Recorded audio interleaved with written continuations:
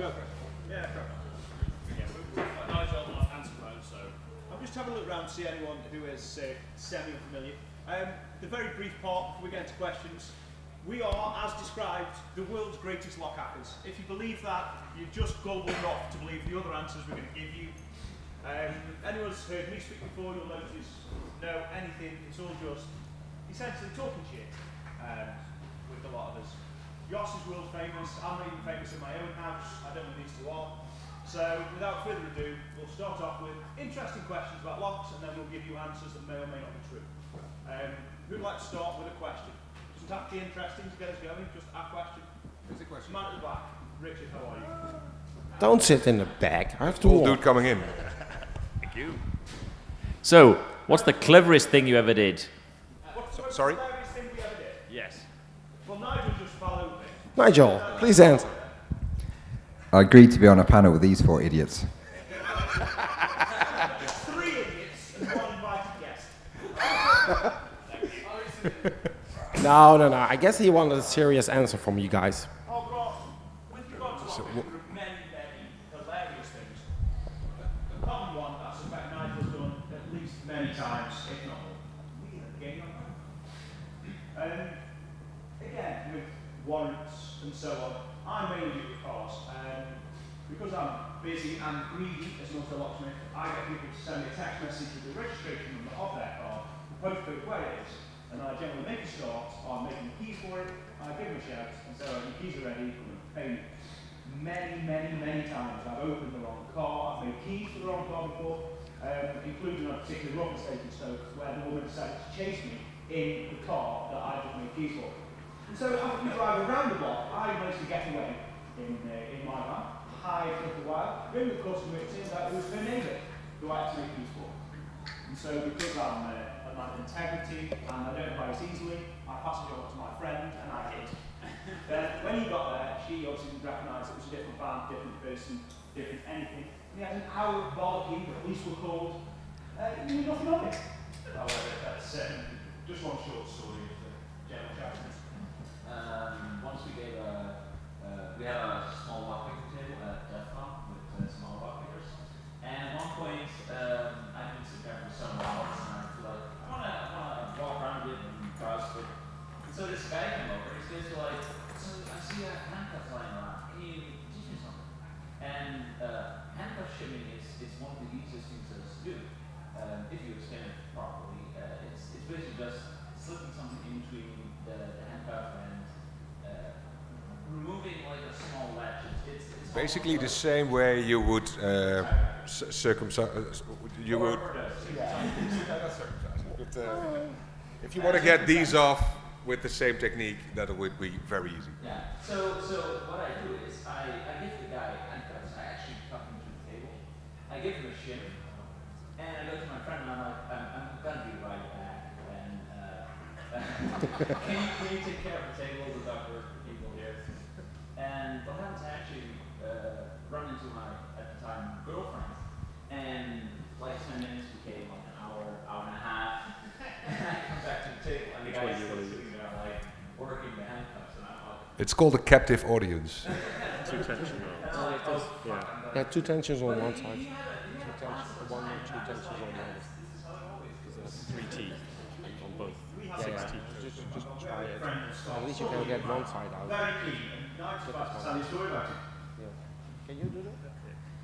At a uh, locksmith exhibition, Scott was Li- live shimming. demonstrate this same thing. Put the handcuffs on so tight he couldn't get the shims in, and basically he's there for about 20 minutes. His hands turning blue. Please hold my. He's got no key. Of course we don't have keys. standard Police issue, UK police issue handcuffs, and he cannot get them off. We're like, do you want a hand? And the rate he's going, he would have needed the use of the hands. Um, Bug Blue is attempting to show how to shim the. Uh, Yeah, yeah, yeah. I'm just live shimming. Uh, you know. However, he's never done it before, and he's quite most of the, uh, the demonstration. you need to shout out if you like. Uh, yours, can I have your tools? They're much better at this. It's, uh, not an old What? story, But it is a Roman story. Um, Oh, No, no, no. Oh, that's yours. So um, this year at EMF, I organised last year's EMF Lockpicking Village, and this year I organised the same thing. So we uh, went to the extent we got a tent, we paid for a tent, we organised tables, we organised chairs, we organised pickers, we have support staff, we have uh, banner, we have tools for sale, we have tools for use, we have lots for use. Hi, things. hi. What I didn't remember to do was ask London Hatfield to bring the locks to the event. So for the first three hours, the Lockport Village had no locks. It's a small oversight, but it's a fairly major one. En moet ik hem So within the last three days of after work, So go there must be more On questions. note, Yeah, yeah, there must be more questions. Oh, on a Please. very quick related note, we also got like last time. We also got like this time. It gets dark, oh, you know.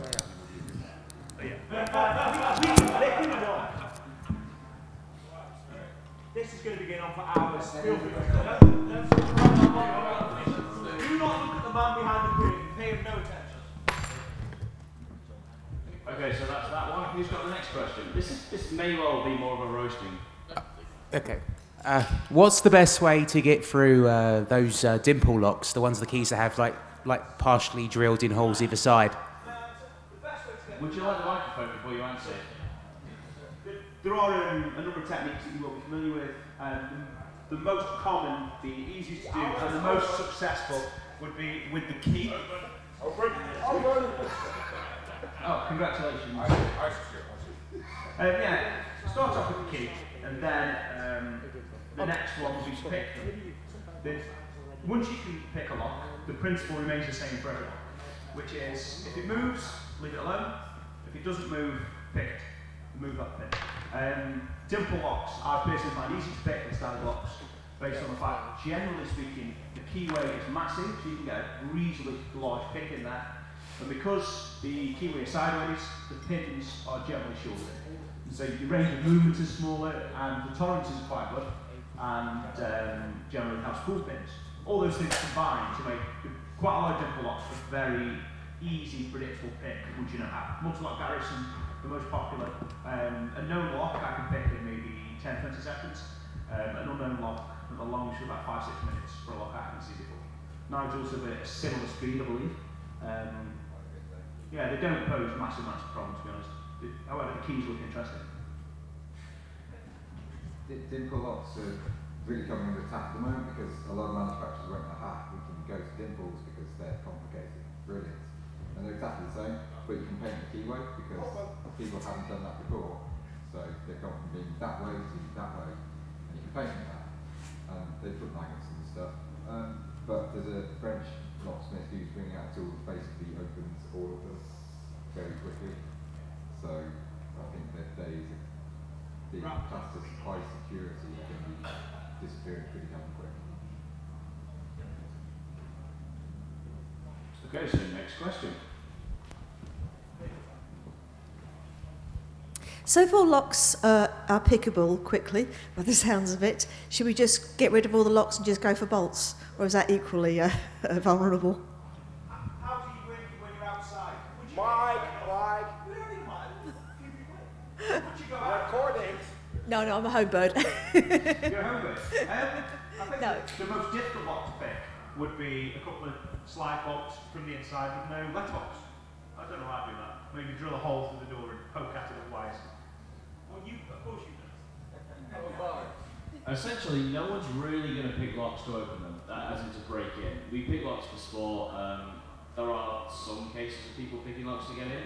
It's worth having a decent lock, as in something that's bump proof or at least bump resistant. It's it's as simple as that, really. No one's going to really pick the lock to get in, unless you're a targeted person. At which point, there's no point worrying about it. There is one for for- Give me a call, I'll sort out security. Um, His name is Warren Rockley. He's available 074.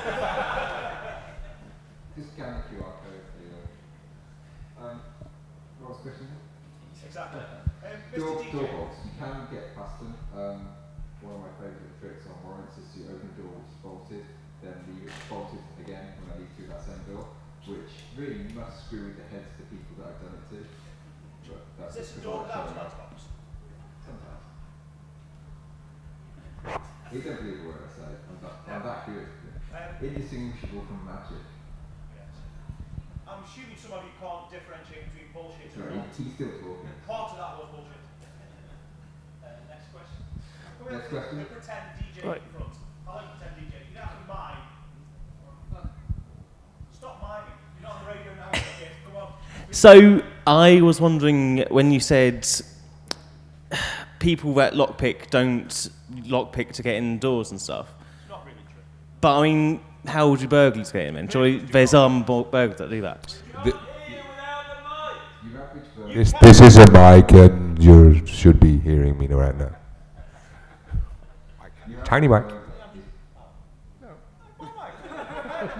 What, what was the first question there? How do burglars break into houses? Basically, that's the question. Uh, or why, why don't they use lockpicks? God damn it, give them a microphone. Why would I have a microphone. he won't shut up if you don't give him a microphone. Okay, so why would a burglar not use lockpicks?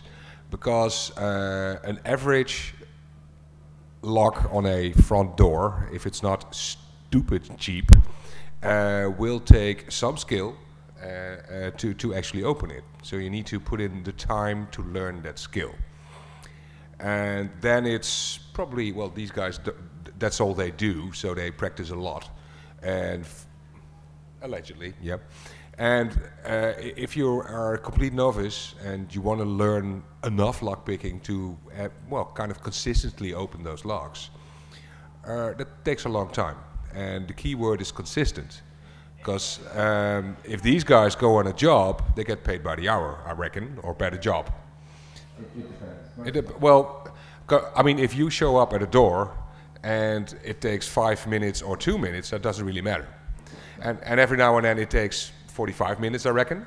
Exactly, yeah. Yeah, if you're trying to rob a place, being on your knees in front of a door you're not supposed to be at for 45 minutes, that's going to be a problem. There are, Back to five times for extra tools. yeah, and of course there are other ways to get around it. I mean, uh, a, good locksmith will try to open your door without any damage, not even to the lock. If you take a big old drill out, and or just make a big hole or go through a window, that'll work. Because these guys won't do that, because that's extra cost for the client. But a burglar, well, see if he cares. I mean, it's going to rob you anyhow, uh, so that's an extra door for you. So this is, uh, for, for a burglar, this is probably the, the least efficient way to get in. Does that answer your question? Because let's be honest, Yeah. how many times have you heard a weird noise or a bang or a crash or an alarm? Okay, let's have a show of hands. How many people have heard alarms going off at night? How many people have bothered to investigate? exactly. There's no point trying to, or for a burglar, trying to pick their way in. If they boot the door in and don't worry about the alarm, no one's coming. No one's picking their way into a house. It's not the quick way in, it's not the efficient way in. No, no normal burglar would. Yeah. And that includes bumping. Basically, for, for now, that answer is probably a yes. Yeah. I, Eh, I've lo- breaks into houses quite a lot with warrants and things, and I do pick the locks. When they don't go quickly, you are sort of sat there, even though I've got the force of law behind me and hopefully two guys as well, just to make sure that no one throws me around the back of the head. It can get really hairy, and that's broad daylight. You've got permission for the door. Um, you're thinking, well, come on, we want to get in here. We know the guys are going another. Let's get in, get out. We drive for work and so on. Um, the amount of stress that puts on Yeah. to do that as a burglar. When the drone's going, you find you find coordinated drones. You use a lot of that feeling. As a burglar, you would have to be stone cold to be able to do that on the door. Or stoned. Yeah, I mean, um, one of the closest things you'll ever do um, to being a burglar as a locksmith is mental health warrants. Slightly different from utility warrants in that um, you have an appointment, usually noon. Why noon? I don't know.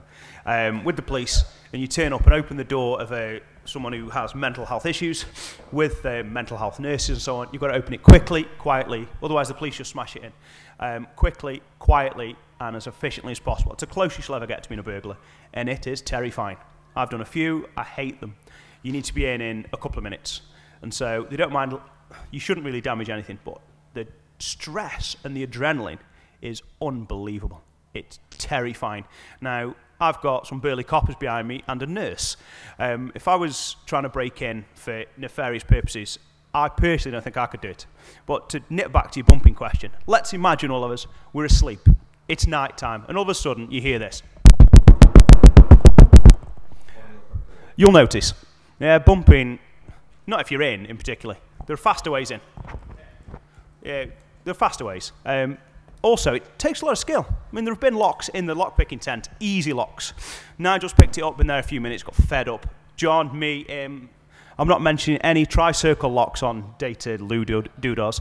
Sometimes they're a pain in the arse. Now, if you're a burglar, you, there are more consistent ways in. And generally, through the open window that you've left, or the back door that's been broken for six months, or any other speedy method. If you think that you are a person or high value, then you need to get your security looked at in a different way. People go, oh well, you know, just a window. If that's not acceptable for your situation, you need to invest in your security. Most people don't. They leave a two pound lock on the door that's there when they moved in. That fifteen people got keys for, and then they wonder what you're going to Well, to get back to that uh, bump key question, normally I would say burglars won't use that because you need a shitload and they break and that's hard. But if you live in a a new builded uh, uh, or in a flat with uh, all the same locks because you are not allowed to change it because all the uh, all the tenants have to have a key that also fits on the front door. You all have the same brand and type of lock. A bump key would work for the whole building. So in situations like that, or in a completely, uh, uh, if there's a what is een buurt? Nieuw buurt? new Uh, if there's a new build, a, a, a ton of buildings, well, th- if that's the same contractor who put the locks in, they're probably the same. So then, if you move into a building, first thing you do, change the locks. I don't, I don't, I don't care how good the locks were that were on there. Just swap them. Because you don't know how many people have the locks, or actually the keys for their door. So that's good security. But normally bumping shouldn't be a problem. And well, that's it. But that's been said, there is some new research that I was kind of involved in that we're making bump keys from just the pictures of your keyhole. This is fairly new research. I saw this pop up, what, like four, five days ago? Yeah, something like that. Yeah, it's quite new. Kinda, yeah. And it looks well. It it looking looks promising. Actually, it works. And uh, we we just made an app that will uh, well that that will enable you to do so. Yeah, it's the bigger we. Hi, Buck. and uh, we collaborated with with some guys in uh, in, in Germany. Uh, Christoph uh, uh, uh, Decoder is his uh, i- is, his name he goes by online, and we just took pictures of keyholes and uh, basically figured out the rest of the info you need to actually make that bump key.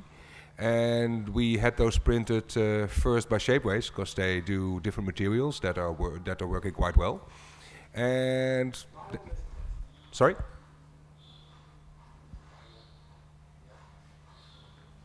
I'm not doing anything. We, we don't want you to speak, that's fine. Yeah, they, they, they- work with nylon. They, they print with nylon, and we can't pr- print nylon ourselves yet because it uh, it has to be too hot.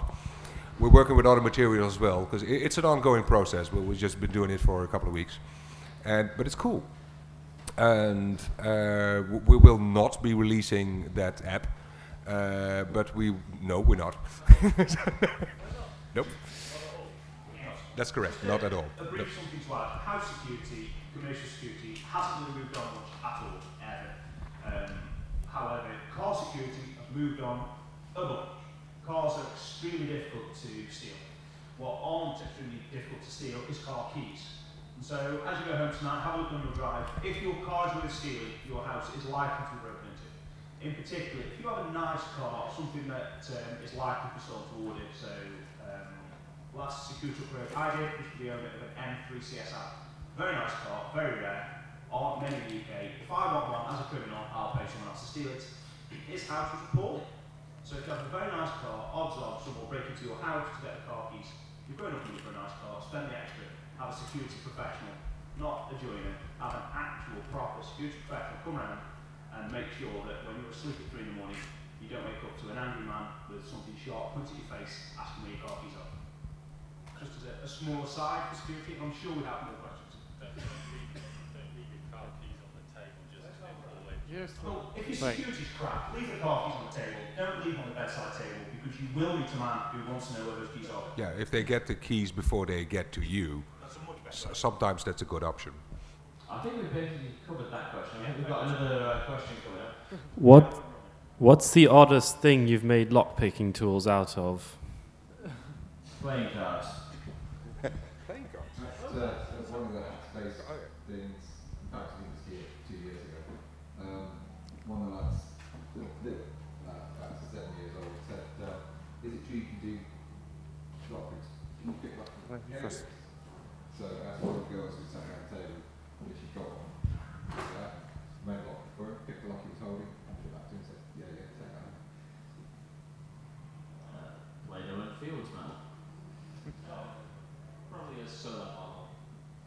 Um, I've made a toothpicks and a tensioner out of a, a bra underwire.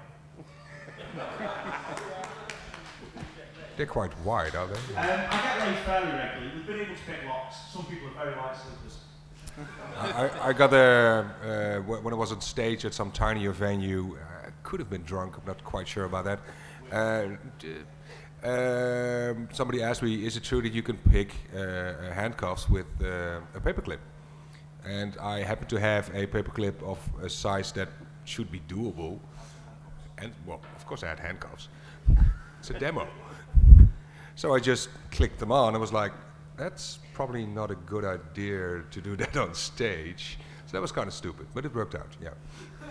And also the, uh, the Nope. thing I've seen, um, a guy I know fairly well, but only online, um, Digital Blue picked a lock with the stem of a banana and then bumped it same banana was frozen. So that's, that's probably the weirdest. I've. Yeah, that was uh, at, at one-on-one, was that right? Yeah, yeah, that was basically a challenge. What who, who can have the stupidest lock pick ever? And he said, "I'll open the lock with a banana," and he did. Well, more questions. Um, uh, you mentioned that vehicle locks are m- much better than house locks. I mean, w- what's the future and what can we apply from vehicle locks to house locks? The reason vehicle locks are better was uh, due to certain areas in the UK, Manchester, Liverpool specifically, where people drove cars that they didn't own. Which takes us back to the tool rules, don't pick locks that you don't own or have explicit permission to pick. Um, and insurance companies spend lots of money on transponder technology. Modern um, car key technology is now prox keys, the proximity, proximity keys, where when you have the key on your person, the car will start. Um, it locks when you walk away and unlocks when you walk to it. The problem is, how do you know your car's ever locked? Because you don't. Every time you come to it, it's unlocked. You've never seen your car locked unless you leave your key far away and walk back to the car. By the way, is a security risk they do that. With regard to um, domestic locks, personally, Nigel will no doubt have a different view, but I personally think domestic locks aren't going to move on much, if any. They haven't moved on in the last hundred years, they're not going to move on in the next, because they work perfectly well. There's no need for complicated electronics. I make a really good living on the fact that car locks are always knackered, and you know people lose keys. What car do you drive? What year? 2003 Mark 4 Golf. Spare keys for that. Lost keys 250 quid. Spare keys about 160. Um, your front door lock, I would say no more than 10 for a spare key. 100 quid max for lost keys. If every time you lost your keys, I wanted 250 pound from you, you wouldn't take the technology up. I can't let people buy a 30 quid lock. 250 quid is never going to happen. Based on that, same lock we've always had. For these Prox cards, I, uh, I I met a girl once, and she um, she she lived in a, a an apartment, but that was on the ground floor, and her parking spot was right before in front of her door. She left her keys in her coat pocket, and her coat was at the coat hanger, which was right beside the door. Her car was never locked. She didn't know that. However, nobody can steal it because they get Yeah, tr- but you can get in it. drives down the car park and then it locks again. And you, you sat there trapped because they deadlock. Yeah. You are trapped in until someone rescues you. the, the other reason that uh, car locks are also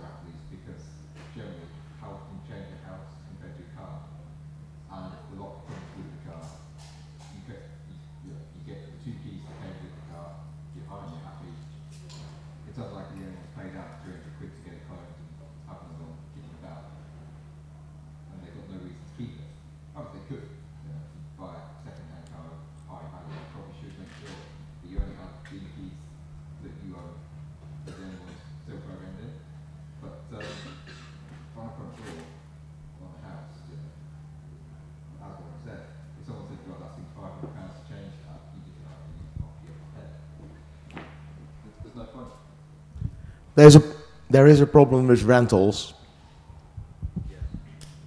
We don't own them, that's fine. um, a decent rental company will enable what's called fleet mode on their vehicles. And So factory keys generally two remotes, one spare key. What you'll find is that the key programming is locked down from the factory. It's supplied as rental, decent rental company. Like, um, Enterprise will have fleet vehicles. They're supplied with three keys. They retain two keys and give you one key, and there's not an accidental chance can anybody remake the keys. They just will not program it. Modern vehicles will not clone. And so it's very difficult, even for me, it's very difficult to put new car keys into rental vehicles. Generally, you take the ECU out to put them in that way. Um, Well, January, your follow-up question, very briefly.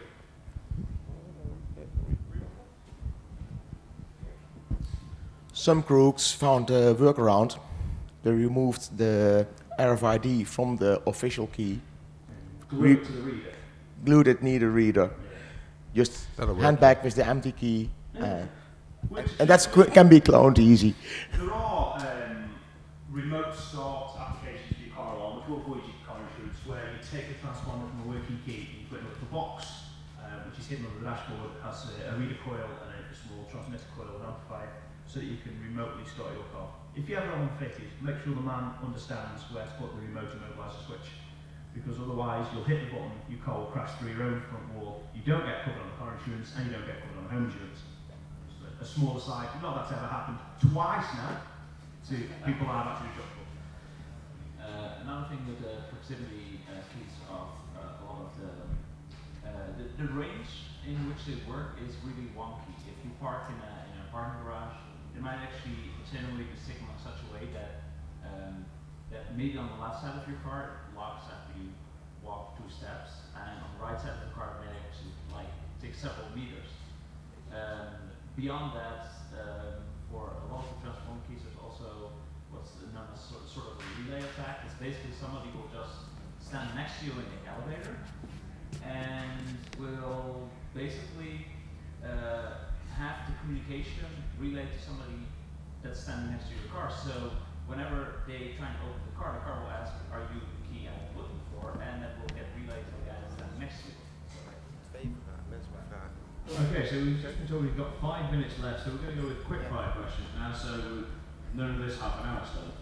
I, um, I've got kind of two quick, uh, kind of one slightly irrelevant question. Um, uh, it's about sort of uh, rental houses and stuff. Do you ever get problems where like people like rent a house out for like two months and just clone the key and then come back in and break in? And then the second part is about sort of uh, 3D printing and stuff. Do you reckon when you get sort of cheap 3D printing of locks, you know, it's going to be sort of, I guess, uh, you know, uh, accurate, uh, homogeneous kind of pin pin sort of size and stuff. Is that going to take away from picking? And then, you know, are you, are you going to be able to have like, you know, 3D printed locks straight from the manufacturer and then you can check it and then they can send it back?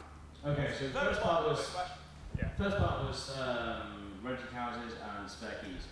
Change the locks. Exactly. Uh, the same conversation was from yesterday who said they weren't allowed to change the locks. Just change them and take them to the estate agent. I've got the keys, they're the new locks. Uh, the second part was 3D printing keys and um, No, yeah. 3D printing locks, that was. 3D printed keys, yes. 3D printed locks, no. You can sure. Since it's, I don't care. The microphone's there. Um, about, about the rented, uh, uh, rented apartments, a friend of mine had to move out uh, quite a bit often because he took like well, a short-term uh, rental agreement. But he basically did every time he moved in, he removed the locks that were technically owned by whoever rented in the apartment, and he had he bought his own locks and he just traveled with his own house locks. So every time he went to a new apartment, he just replaced all locks, and he knew he was the only one with keys to that set. And the fun part with that is if you're if you're moving around a lot, uh, you only have to sell. Uh, you have to buy one set of locks because you keep on using those. Yes. Basically, yeah. Standard size. So um, if in doubt, and this is not advice, but you know, just change it. Take it with you. When was the last time someone turned up and opened the door from a rental property? Many times. As Warren just said many times, that happens. All the time. The other thing is the uh, lease or rent agreement often says that the landlord has to have a key for inspections and things. I suspect most people would rather have a few hours notice of that. And if it just so happens that the landlady turns up, tries the key and goes, oh, it doesn't work, then phones you, you come back, open the door. At least, you know, you know someone hasn't Swap the wandered lock around, again. if legally she can. Well, a couple more quick fire questions while we're quick firing. Yeah. Um, very simple thing about rentals. Your hotel room is also a rental. Yes, it is. Next question. Uh, was just wondering. Um, Oh, you again. How many pins? Uh, what, what's what's the most amount of pins that you've seen in a lock? The most amount, uh, 21 for me. Uh, the most I'm aware of is 24. Could be. Yeah, the mo- Yeah, I know there's the um, I forget the name of it. The the most I've picked is 12. Okay, that's good. Next question. No, sorry. I've, I've got a 14 pin lock if anyone wants to have a look at it. You you in got the shut tent. down. Time is up. You can shout loudly. They can turn the mics off. Yeah, let's do that. Let, Can we have let's one more give them question? a fir- one more question. One more question. Okay, where where? Who has a good one? Who has one last question? Really, guys? There we go. Yeah, I go. What was the hardest pick you had to pick? Hardest lock. Hard, hardest lock to pick. What was your hardest lock to pick? Go around, Jos. Yes. Um, well, I know instantly which one I wanted to tell you about, but I can't. so I'll, Okay. I'll skip that one if you don't mind. Um, quite boring answer, but pretty much every lock I have to go to as a, a paid job begins out as the hardest lock I've ever had to pick. Um, Ford Fiesta with proximity key. The customer didn't know that her key fob had a key in it. The lock had never been used in five years. And that took me two and a half hours on a HU 101 after school. It did open in the end and I got paid, but two and a half hours I think is the longest I've ever sat and picked a lock. Uh, this is going to be an, a really ridiculous answer. A master padlock, because I was stupid enough to take the bet that I could do it up, while upside down. Okay, so there's two two parts to this. The longest I've spent trying to open a lock is three minutes, which was an Ingersoll 10 lever. Um, three months. Three- yeah, the longest. Yeah. Um, the most expensive lock I've quick, uh, picked in the quickest time was someone asked me to open uh, Banham um, as a challenge, and it took three seconds. That was a complete mistake, but it's still opened, and uh, anyone from London's probably seen them. They're the uh, dimple picks with the holes all the way through. They're not as safe as you think they are. Are we allowed to tell people about that? now? um, this one was really difficult because I had no tools, but I've just done it on stage. No, it's not that difficult. with, with no tools. Without tools. Okay. And that kind of wraps it up. You, you can Yeah, watch the video. Thank you very much. I once spent three and a half hours on a safe at a safe opening weekend. Literally, my arm was so tired that I got someone to get a piece of wood and put it under there so that I could continue so I didn't drop the levers. Um, but I got it open in the end. It took an hour to get the broken key out first before I could even start. Um, then, of course, there's locks that you just fail to open, and that does occasionally happen. Anyway, Lockpick Village is over there. Thanks so much. Just just out of the door, you're in the lockpick village. Come by there. See you there. Thank for the.